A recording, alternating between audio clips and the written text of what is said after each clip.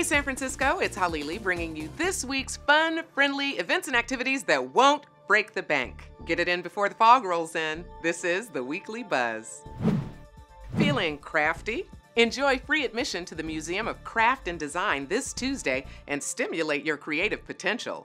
Now, rather than featuring paintings or traditional sculpture, the museum showcases other types of artwork ranging from furniture to kinetic sculptures and jewelry.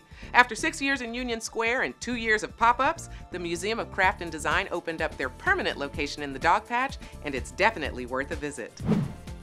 SF Indie Fest's Al Fresco film series takes place at McCoppin Hub Plaza this Thursday at 8:15 and features The Princess Bride.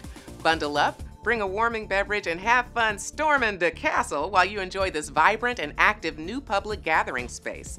All for my favorite price, F R E E. History for Half Pints, the kid kind, not the drinking kind, is a monthly family day at the California Historical Society in San Francisco, featuring music, games, and of course, history. This Saturday, you'll be inspired by images of planes in flight, both historic and contemporary, and even create your own. You can also enjoy master storytelling and dance to fun tunes with a musician. Family Day takes place from 11:30 to 2 and is free with an RSVP.